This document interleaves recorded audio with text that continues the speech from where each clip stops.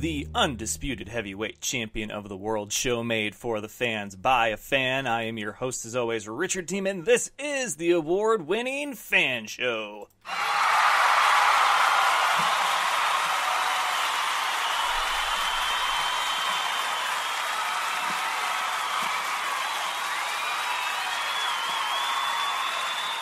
Thank you all for joining me. It is Wednesday, and with every Wednesday, of course, it's a fun filled day here on the Fan Show because we talk a variety of things. Now, for uh, all summer long, we've had Wednesdays kind of dedicated to BattleBots because BattleBots is airing every Friday and then we have the replay with the bonus content on every Wednesday. The following Wednesday, so tonight there is a replay of last week's regular season finale, not the season finale, but the regular season, because the new fight format is a fight card with a regular season, so to speak. Each bot got four fights and a few chances to make the postseason, which is in the form of a 16 seed single elimination tournament that will begin this Friday. So, last Friday, what you're going to see tonight was the conclusion of that regular season who's in, who's out, and who fights who. And I got to tell you, the tournament shaped up to be a great one. It really did, as far as the seeding. Now, I was down there this last episode, I was there for the taping of, of those fights. I was there for the taping of the first round of fights for the tournament. So there's a good chance that you could see me on the television on the Discovery Channel this Friday. But believe me when I say that you had 55 bots and it's a 16 seed tournament. So obviously, you know, it, eh, like when you have the NFL 32 teams, right, and 12 make the postseason, there's a pretty good chance that you're going to have the best of the best in the postseason. The best from the AFC being represented, the best from the NFC being represented. However, there are a few flaws with the way the postseason works. Seeding, I'm fine with. I'm not okay with the fact that a team with a better record can be the team that is an away team in the first round because they did not win their division. It's not their fault that their division is tougher or that their schedule was tougher than a team that won their division with a lesser record. I have a problem with that. I have a problem with the fact that it's not the top six, it's the four division winners and then two wild card spots. Uh, sure, we've seen teams finish 8 and 8 and go on to win the Super Bowl. So, did they deserve to be in? You could make the argument, but what would it have looked like if they were not in? Uh, I mean, any given Sunday is is the cliche for football and very true one at that. But I think, in all honesty, when the divisions there was only three of them per conference and five teams made up that division, that's a significant chunk of your schedule if you're playing each team in your division twice. That's uh, two, four, six, eight. All right, you're the fifth team. You play the other four twice eight games of your 16 game season plus a bye, or I guess I should say minus a bye. That's eight of the 15 games. Or no, I take that back. It's 17 weeks. You have 16 games, so minus a bye. So still though, my point is is that under that old setup, under the old uh, format or, or league uh, design, what's the word I'm looking for? Under the old league configuration. There we go. That's the word. Under the old configuration, to be the best in your division really did mean something because you had to play the same four teams twice, and those eight games accounted for half of your schedule, half of your record. So, yeah, obviously, if you're the best in your division, you deserve to go on. But there's only four teams per division now. That's six games that count to your schedule. Out of 16, there's another 10 games out there. And you could have a weak schedule. Now, you can't see into the future. No, you can't. So it's very hard, if not impossible, to say who has a tougher schedule or who doesn't until the season has played out and you look back and you be like, man, they had a tough schedule. But I, I just think that you can leave the conferences.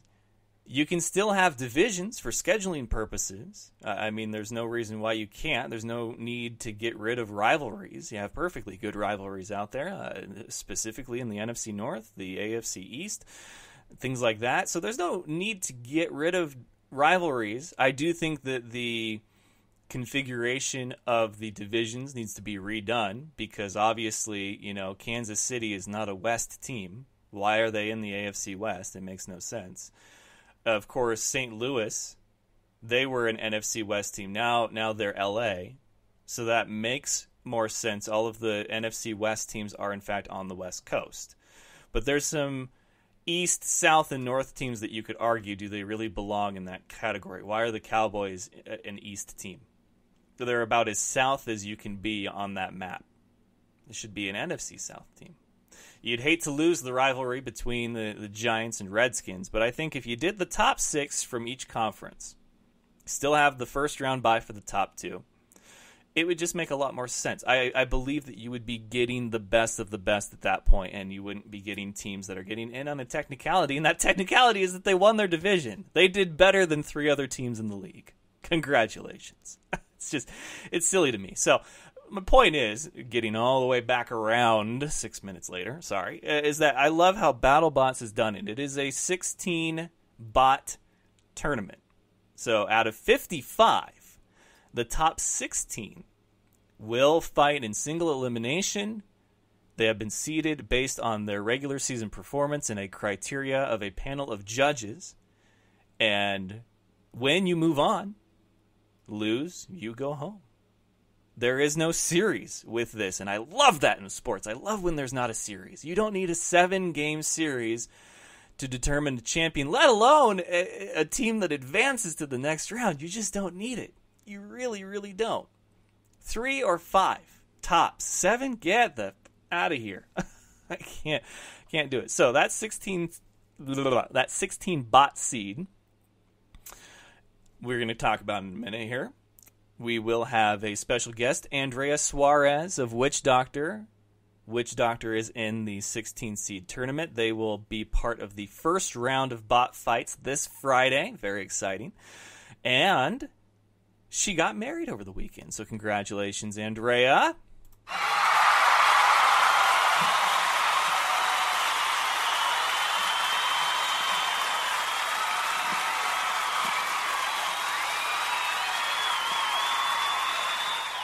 Talks a little bit about that, especially the journey to get married. Which, yeah, there was a, a journey. I do not envy her and her now husband's, uh, you know, road to holy matrimony. But uh, she talks about it, uh, the season so far, because the the one thing that I wanted to find out about these teams that are now in the tournament is if they feel like the new fight card format, the regular season, was justified because. Uh, they've done twice as many, if not more, episodes for this season alone than they have previous seasons, you know, on ABC. ABC, the tournament was the season. Now, I forget how they drew out that. I, think it was more than 16 bots in the tournament. I think it was maybe 32, but you had a much shorter season. Bing, bang, boom, done. And bots, uh, there was no regular season at all. Like the the whole season, the whole taping and everything was just the tournament. So if you lost, you went home. You did not get three more chances to make adjustments, prove yourself, so on and so forth. So uh, we talked a little bit about that, how she feels uh, under the new format, if she feels it was worth it. Uh, did they deserve the seed that they got? Did they deserve to get in? We go over all that good stuff. We've got the butt, f- butt Buck. We've got the Butt Fumble Award for week two. You nominated, you voted. We've got a winner. And a new name, a new item, name or item, we'll see, will be added to the list of fan show. One of my uh, favorite segments here that debuted last year, paying a homage to Chris Jericho, Y2J, and his list. Hopefully, it's not any kind of uh, copyright suable stuff. But uh, anyway, you get the point. So uh, Andrea will join me in a little bit, and yeah, we should probably do those uh, those headline things, right? Let's do the headlines.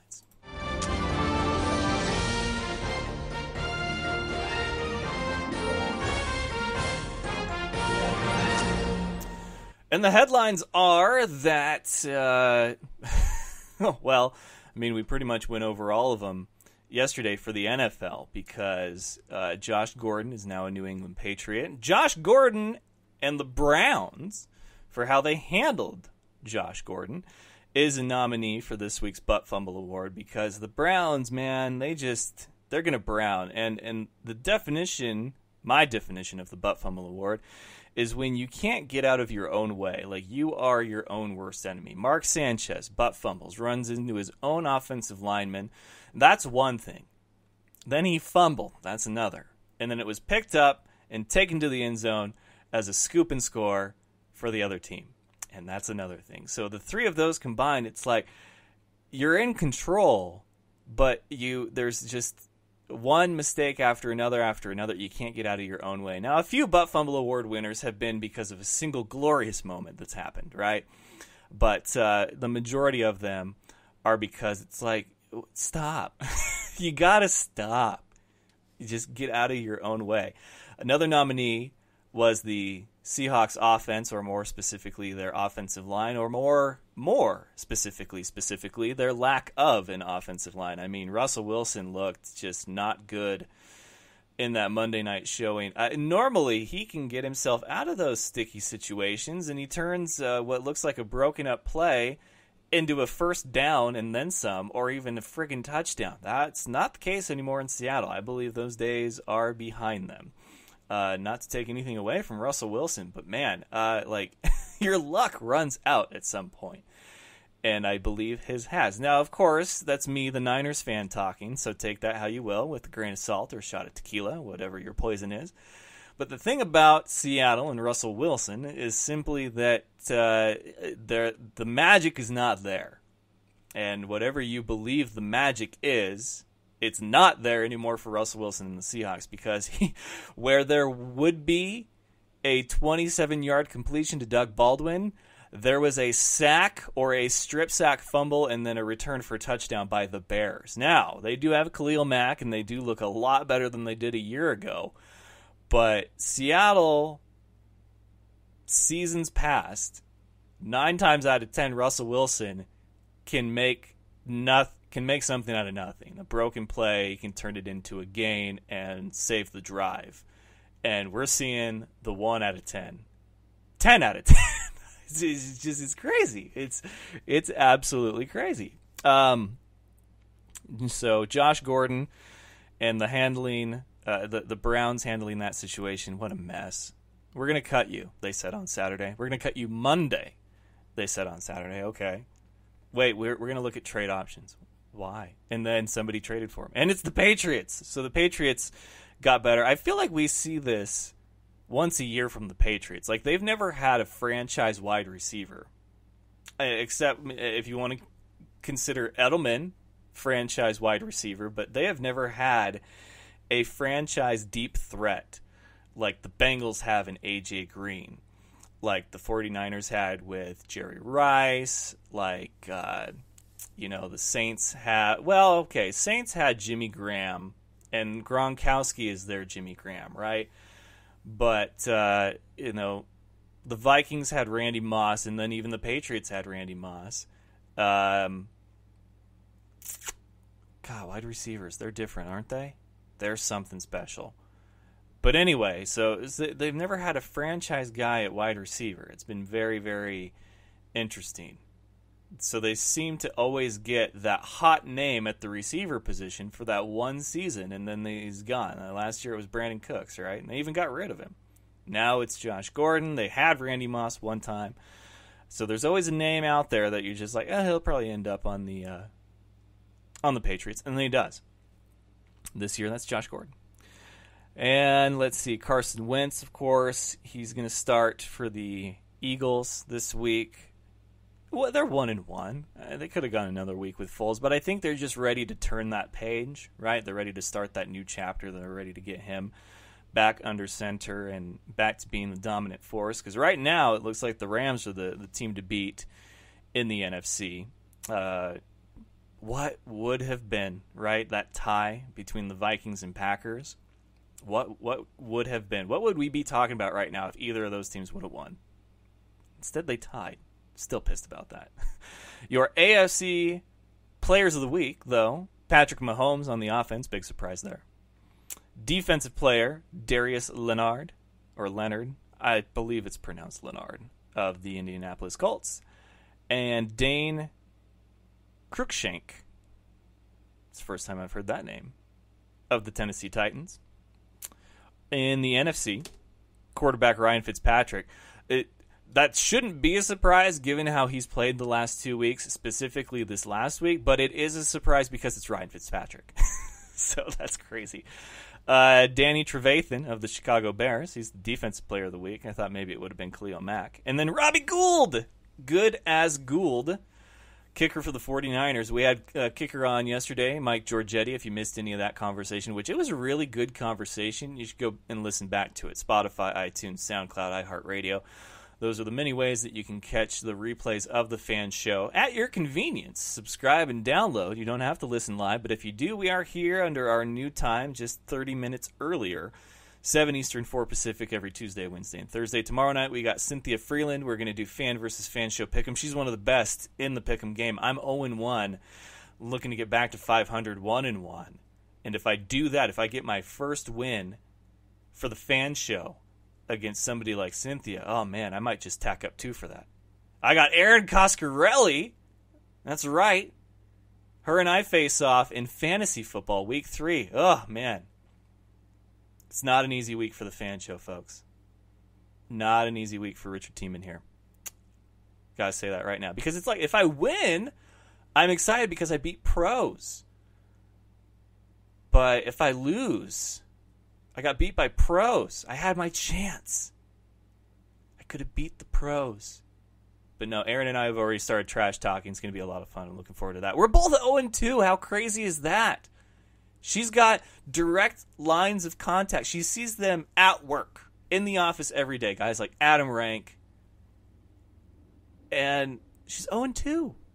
There's a belt on the line, Erin. You hear me? You got to shape up. One of us is going to get our first win of the season this week. Is it going to be me or is it going to be her? I'm going to post that question to the Fan Show's Twitter page at Fan Show Official. Feel free to vote. Of course, you can still vote for the next couple of minutes for the Butt Fumble Award. But let's get to the list. All right, the headlines, like I said, there's not a whole lot. Uh, the tournament, though, for those of you wondering, the 16 seed tournament is. Oh, come on. Did it really disappear already? Fine, we're going to get back to it. BattleBots tournament. Come on, where are you? There it is. Okay. So, in case you missed it, because it aired Friday, it will re air tonight. The 16 seeds are as follows, and I will let you know their matchup. Number one, Tombstone. Big surprise there. Color me shocked. Number two, Bronco. Number three, Bite Force. Number four, Minotaur. Those are your top four deservedly so. All four of those, I believe, all four were undefeated, dominant performances. I mean, Bite Force really a, a Minotaur. No, Minotaur lost to Tombstone. They were not undefeated. But if your only loss is the Tombstone, that's probably still a win. Then, number five, six, seven, and eight, we have number five, is Sawblaze, Jamison Go, been very impressive during this regular season. Number six, Ice Wave, who just took apart, literally, huge. Number seven is Yeti. Number eight is Son of Whyachi. So right in the middle there, just outside the top, but above the halfway point, right? Deservedly so as well. 9, 10, 11, and 12 Lockjaw number nine, winner of the Desperado tournament, but it was not a guarantee where his seeding would be. So we find out he's number nine, middle of the pack there.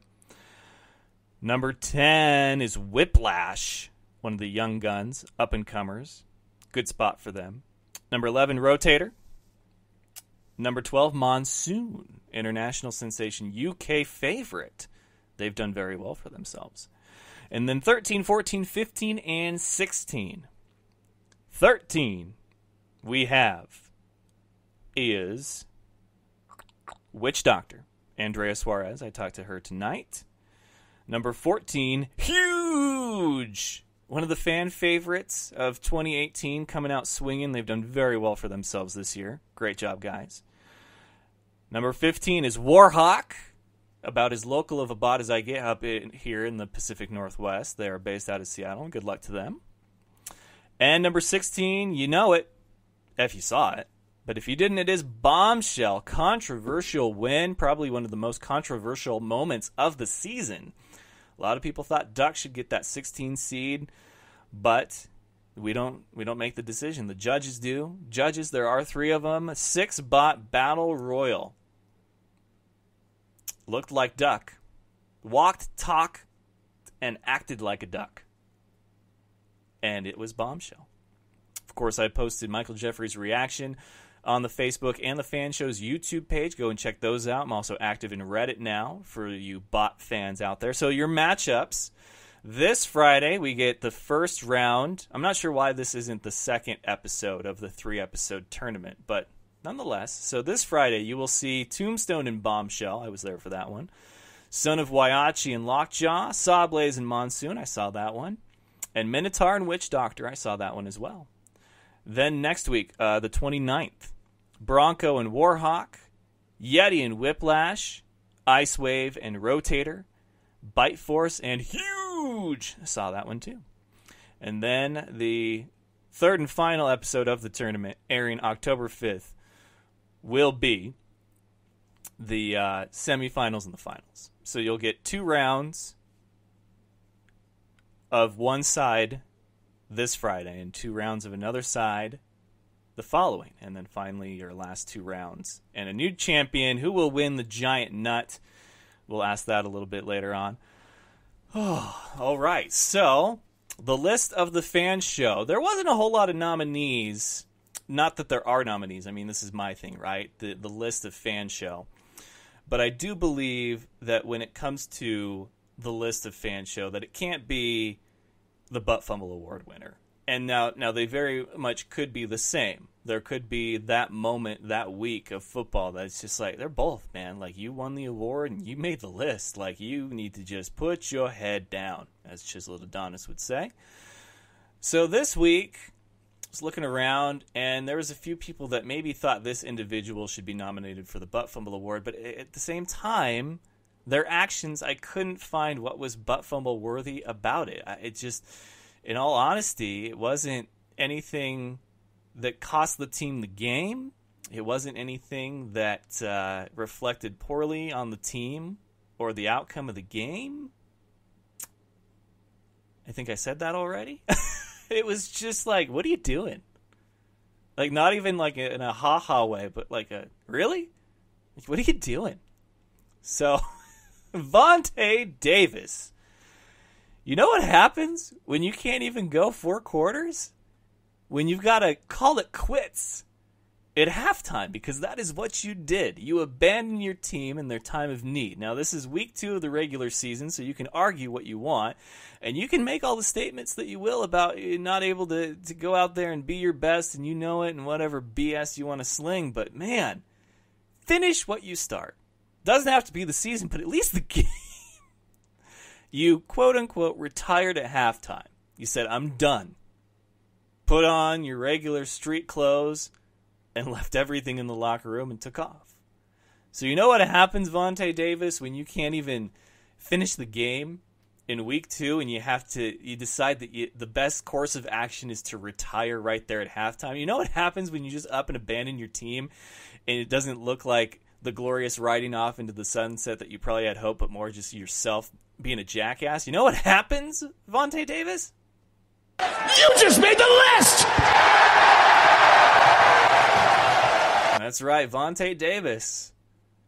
Second edition, second item, second name on the list of fan show for 2018. Now, your Butt Fumble Award winner. The nominees are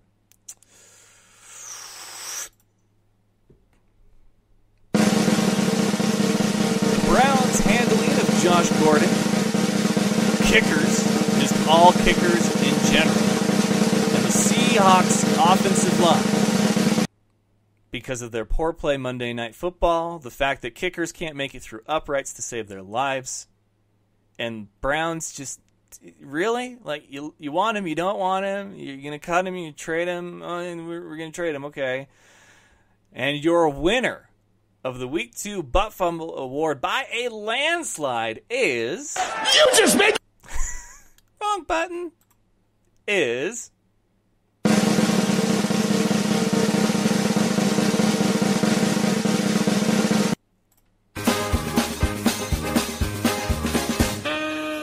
kickers. Congratulations, kickers all over the league. There may have been a majority of you that actually went out and did your one job, but there was enough of you that failed to do so, putting them through the uprights on extra points or field goals in general, near and far. We've had too many ties this season, and it's because of you. So, congratulations, kickers of the NFL. You earned it. so, that is going to do it for this first portion of the show. Don't forget, if you're a gambling type, to check out my bookie. That's right, you need to visit my bookie and use promo code FAN, F A N, and they are going to match your initial deposit to dollar for dollar up to a thousand dollars with that promo code. And I hear great things. Kevin Goatee, who was on the show last week, who I announced last night that I did lose to in the f- first uh, edition of Fan versus Fan show, but I mentioned it to him, and he's like, "I already use him." That's a great endorsement right there. The man loves to gamble. He uh, obviously probably has some experience on where to gamble because it's not just who you bet on that matters, it's where you bet and who you bet with. He bets with my bookie. Uh, there's not much better of an endorsement out there that you can get because I don't believe he has like a gambling problem. He's probably got it figured out. But Kevin Goatee, good friend of the fan show, likes to make a wager, likes to do either the over, the under, the winners and losers, cover the spread, what have you. You can do all of that with my bookie, and that's where he does it. So when people ask, you know, about fantasy advice or whatever, I don't, I don't have fantasy advice for you. I don't give very good fantasy advice. But when they ask me where I gamble at, when I do, when I have the chance to lay down some green, and maybe, hopefully, you know, get some back, and then a, little more, help cover rent or some other bills, I use my bookie. So remember, you bet, you win, you get paid. My bookie. Use promo code FAN, just like the fan show F A N. That's my bookie M Y B O O K I dot ag dot ig. Sorry, mybookie.ag. And they are going to match your initial deposit dollar for dollar. Up to a thousand, there is a limit, but don't wait on this. Don't sleep on this because it's yours for the taking. If you feel confident in how you bet, then take that confidence to my bookie. And we will be right back with more of the fan show and my interview with Andrea right after this. You're listening to the fan show, your home for all things football and nonsense. My special guest tonight, Farouk. Farouk, welcome. He's no expert, but here's the thing football and nonsense is what he brings. Sports talk with a twist. It's the fan show. Do you know him as Kevin from the League? It is none other than very funny Steve Rannazzisi. 99% of the population doesn't know who I am, but the 1% do. They yell and scream inappropriate things at me in public. Kyle Ray. Kyle, welcome. And I was like, wow, I think we just saw the whole Super Bowl, Phyllis. it's like that scene in The Simpsons. Like, why rent the movie? I just saw the best part. Funny man Brad Williams. Yeah, I'm here. I mean, no, I flew in just for your podcast. I've heard about this podcast. I've heard it's fantastic. It's Mac and Farva, but they are my special guests tonight. Steve Lemme, Kevin Heffernan. I was in Mexico for 10 weeks in a Speedo. Like, that's, uh, that, that was me going to work. I was putting on a Speedo. Like Farva is the most fun to play, and it was a blast to do that again, to do Farva again. So then the makeup artist had to put Vaseline on your body, Yeah, right? yeah. and then put the powdered sugar on top of that. Is your name really Richard Siemens? Listen live every Tuesday, Wednesday, and Thursday night on Spreaker.com or subscribe to the podcast on iTunes and SoundCloud.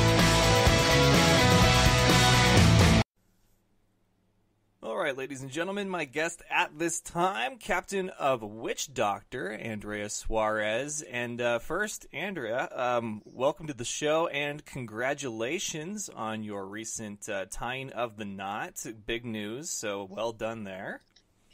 Thank you. I'm happy to be here. And uh, yeah, we got married just yesterday. Now, it seemed like this was uh, sort of a surprise. Like, did you guys elope, or was it just sort of kept more like, you know, bet- amongst close friends and family kind of thing? Yeah, it was definitely a small ceremony. Uh, Mike and I have been together for just over 11 years. Wow. But we've also um, always worked at the same place, so we couldn't get married. So he recently got a new job, so it was a perfect opportunity to go ahead and finally do it.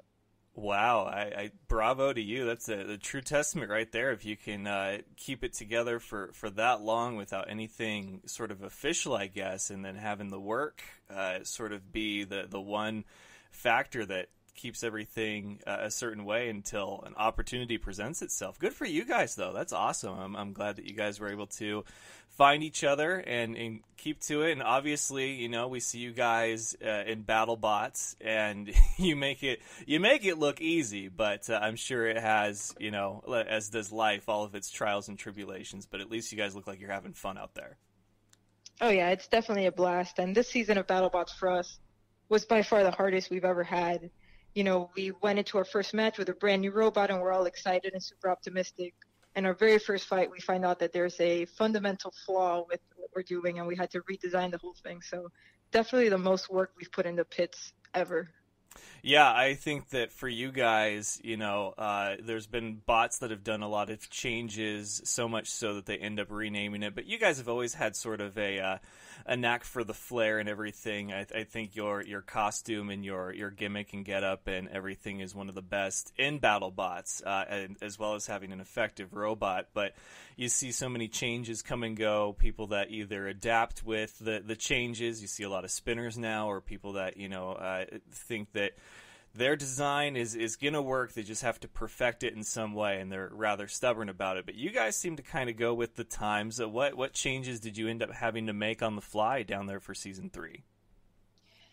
Well, we used new motors uh, this season because the big change was, as everybody knows, we don't have Shaman. So all of a sudden, that's 30 extra pounds we could put into Witch Doctor.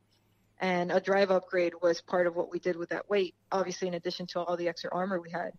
So we went with uh, Ampflow motors of 48 volts. They've been used in the sport, so they weren't totally new. Um, but just in the application and the way we were using them, it was clear that very first fight that they were just not going to cut it. So we actually only had three people at the event because the event filmed over two weeks and we couldn't all get the time off. So we actually called one of our teammates that was still home and said, hey, you remember those motors that we used last year? We need you to go get them out of the robot and ship them to us overnight so we can put them in the robot tomorrow because we fight the next day. Oh, wow. And of course, those motors didn't fit because they were about twice as long. They were heavier, so we had to have Tormach remachine the frame, and we were making CAD model changes. It was it was intense for sure. yeah, I could only imagine now. I was down there for when they announced the tournament and the seeding, and I was there to get uh, some reaction from some of you guys in uh, in the room when they announced uh, who was in and, and at what seed. Now, of course, there was the final uh, battle royal with the six bots. Bombshell came out on top of that. So, uh, you know, very fitting that the what you would call regular season ended with a bit of controversy going into the tournament, and then of course the the finals. Um, for you guys, though, knowing that you had a, a legit a legitimate chance of being in the, the tournament, just pending what sort of seed you were going to be. Uh, the moment that you heard down there and then now watching it all play out on TV, like, can you recall what emotion you had? One, when you found out that you were in, and then when you found out that you were going to take on a bot uh, like Minotaur, and then now, was there any sort of resurfacing emotion when you watched it play out on TV? Um, I mean, we haven't actually watched our fight against Minotaur again, so I can't talk to that just yet. Um, but we got seated at lucky number 13, which is very appropriate for our team.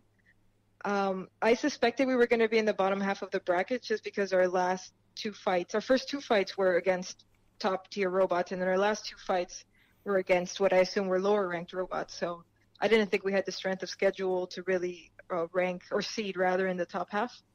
Um, and of course, Minotaur is as hard a draw as they come.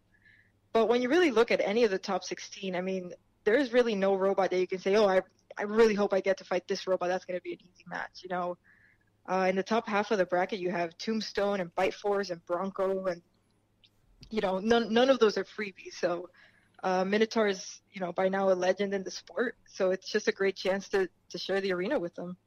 Yeah, you guys of BattleBots are always kind of a uh, unique bunch as far as when it comes to uh, the competitive edge and just sort of that whole uh, portion of the show and and everything about it. Because you guys, you, you get excited for sort of different stuff than I think the rest of the world of sports does. You know, I mean, obviously, you guys you didn't find out you were going to be in the 16 until they had the, the judges panel go through. And I mean, it wasn't going to be all record. It wasn't going to be all strength of opponent win schedule. So you're, you're sitting there and you guys are kind of on the bubble. You know, you think that you're probably in, but you know, are you? And if you are, where are you? And then of course, you know that if it's seeding based on performance, you know that you guys aren't going to have an easy first round no matter what because there's only 16 of you out of 55 you know bots. And and to say that there's you know 55 good bots is one thing but then of those good bots there's the the top 16 and so here you are against minotaur for the first round. So it's like you're excited to be in and then you find out you know who your opponent is and you know that there is no easy opponent on that bracket. So, what was the uh, reaction for you guys when you found out that you were in, and then who you were facing? Like, I, I assume more excited, but still, like, is it okay? We've got to get back to work now. Let's hit it. Oh yeah, absolutely. And we were lucky in that we didn't have a lot of repairs after our fight with uh, Ultimo Destructo and then Overhaul. So we kind of had a little bit of a break, if you could even say that, compared to the work that we had to do after a fight against Yeti and Blacksmith. Um, so we were feeling prepared. We were as prepared as we could be. Um, we were feeling pretty nervous about our number of spare parts. We didn't have as many spare parts as other teams did. Um, you know, they, they joked that like the Desperado tournament and some of the, the rumbles that the teams that were able to do that were, they said rolling deep like a NASCAR team. You know, that was like the running joke because some some teams really have did have two and three robots there fully assembled and ready to go and that that was not us. We had one extra set of frame components. We didn't have extra electronics or anything, so we were literally taking it out and repairing everything every time. So we knew the top 16 was going to be brutal. Yeah, and uh, I mean, you're right when you say that you look at this 16 and there's not really a bot that you could say either doesn't belong in there or that should be swapped out with another bot. I mean, especially the the top four. So you have Tombstone, and then you have Minotaur, you have Bite Force, and and Bronco. I mean, all four of those guys did exceptionally well throughout the regular season. Which, you know, that's something that I found very interesting. Uh, just a season ago, granted, you know that was back in 2016, but you know the difference between season two and season three it's quite the jump. You guys had the new fight card format, the regular season, and so now we're finally here. We're at, you know, the light is there at the end of the tunnel, and there's only three episodes left uh, before we crown a champion. Uh, has that been sort of uh, different for you guys, knowing that what used to be an entire season of the tournament is now uh, just a small portion of what this last season has been? Yeah, I think in a way the fight card format has turned into, you know, our goal is to show off what a robot can do, and luckily we have a few chances to do it because we would have been out the very first fight. So the fight card for- format obviously really benefited us and let us come in and take the risk of a new robot. Um, part of the reason we decided to build a new robot and redesign it is because we knew we were going to go in with this fight card format. So I think it's definitely doing a lot to evolve the sport and just kind of let people try new things and if it doesn't work out your first match, you're not out. You still have a chance to, you know, kind of tweak it and show that you still belong in the tournament. Yeah, a lot of guys that I talked to on here said that you know they were fans of the fight card format because it wasn't a possible one and done scenario. You guys, you know, you just mentioned that if it was under the old format, you guys would have been uh, one and done. You would have lost and you would have been eliminated. But this gave people a chance to, you know, rebuild, tweak, and and know that there was life after death so to speak, if they were, you know, on the wrong side of either their regular season record or after a, a few fights. But, you know, we have this 16 now, and it is, uh, in my opinion, following this all season long, watching the fight cards and seeing how everything played out, I believe it is the best of the best as far as for, you know, 16 available spots out of a total of 55 different bots. Uh, for you guys, having been uh, sort of the lower portion of the seeding at, at number 13, you look back on your regular season, do you feel like you are a prime example of why this new format works as far as the four fights, the regular season, the criteria, and now obviously being put into the 16 seed tournament? Oh yeah, I mean absolutely. Um, you know, our schedule started really strong against Yeti because we had done so well in the previous seasons. Um, but again, it was a whole new robot, so it wasn't really the same robot we were competing. And yeah, I mean, for us as builders, we learned so much more about our designs. You know, we had more matches in season three that we did in season one and two combined.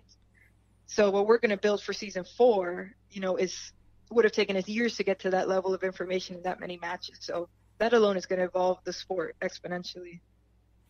Yeah. Now, one uh, bot that is the the talk of the season, really, and they are in there, and they are at the number 14 seed is huge. And of course, you know, a lot of people will talk about momentum going into any type of a postseason for you guys. It's a tournament. Uh, huge got, you know, uh, dismantled, I think is probably the appropriate word by, by Ice Wave on that last episode. But, you know, that's not, uh, that's not the end of their journey. They, they get in there now. What, what have been your thought on a bot like Huge that has really caught the attention of the bot building world fans and, and just really everybody, but now seeing that there are clearly is sort of a flaw, if you will, with it. I guess if you pair it up against bots like Icewave, but um, you know, you guys, you've been around the block a few times. You see a bot like this. What's your impression seeing these guys go into a tournament for the first time? Oh, I love the success that Huge is having. I think it's great that they've come in with such a different design and try to prove that you know it doesn't have to be 55 clones of Tombstone, Tomb clones as they've been come to know to to be competitive. You know, it doesn't have to be Tombstone and Bronco and Bite Force over and over and over again. Huge came and has dominated all their matches, and obviously horizontal spinners. We all suspected would be a weak point for them, and that proved to be true. Um, but just like everybody else, they're evolving their design on the go. So it'll be interesting to see um, now that they've seen that obvious weakness if they're gonna, you know, be able to do something about it, and if they're even gonna face another horizontal spinner. Yeah, I'm very excited to see how the tournament plays out. Like I said, uh, there's a lot of names in there that if, if they're a veteran bot, obviously it makes a lot of sense. Um, but if they're a new bot, it still makes a lot of sense because of uh, the type of regular season that they had, such as huge. Now, for you guys, obviously having a lot larger sample size from what was the regular season in the fight card format, whether it's your own fights or others, is there anything that you guys have looked back on and now had a chance to properly digest and be like, you know, this really works, but what if we tweaked it this way or what if we maybe changed this for next season because I feel like the this season the format has worked as far as no one is one and done. But you know the argument's been is that you guys it's not a, a matter of next man up because you have a roster of players on the bench that you can put in the game if somebody gets hurt. You guys are talking about parts and they are expensive parts. So is there anything that you guys have discussed amongst your team or other builders as far as changes that you feel might be like a happy medium for all parties involved, or have you even gotten to that point yet?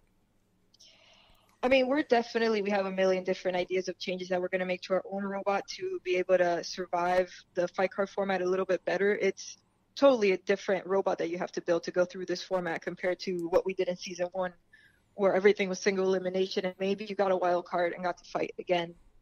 So, you know, we're going to make sure that our motors are all as interchangeable as possible so that, you know, maybe we're down and we don't have any more motors and you take the motor from the lifter and you put it, you know, or rather a self-righting mechanism and you put it in the drive if you have to. So just from that perspective, we're, we're trying to do all we can to ensure success. And of course, sponsorship becomes more important than ever.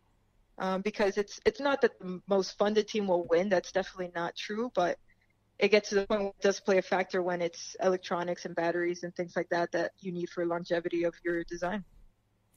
All right. Well, hey, I appreciate your time as always. She is Andrea Suarez of Witch Doctor going into the finals, uh, go, well, the 16 seed tournament. As a married woman now, again, big congratulations to you and the husband. I know that you guys uh, are just like one of the cutest couples in all of BattleBots. So I'm so glad you guys were able to, to get that done and, and now have uh, a new chapter of life, a new chapter of, of bot fighting. And we'll look forward to uh, talking to you again and seeing you hopefully for season four.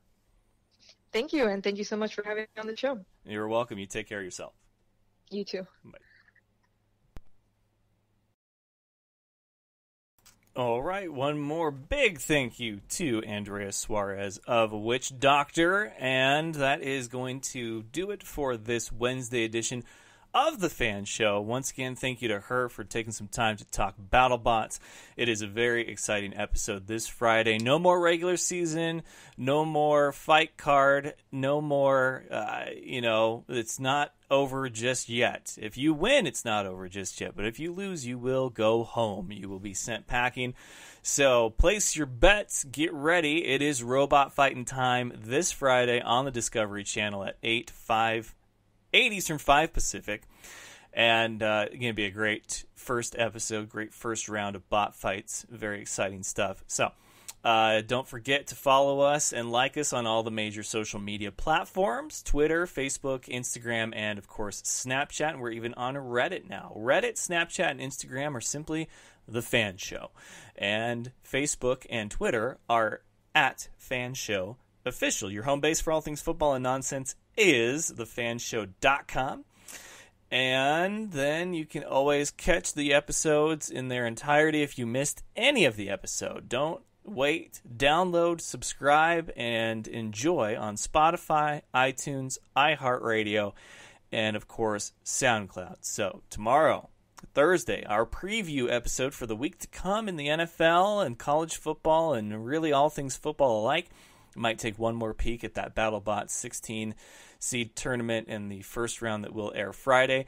Make sure that you are subscribed to the YouTube page and like us on Facebook for video content because we're getting uh, we're releasing more and more of that from my time down in LA for the BattleBots taping. So.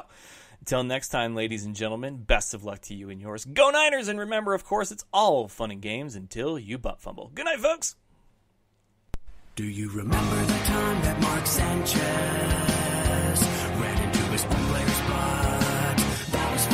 sports. Thank you for having me on the show, man. I love the fan show.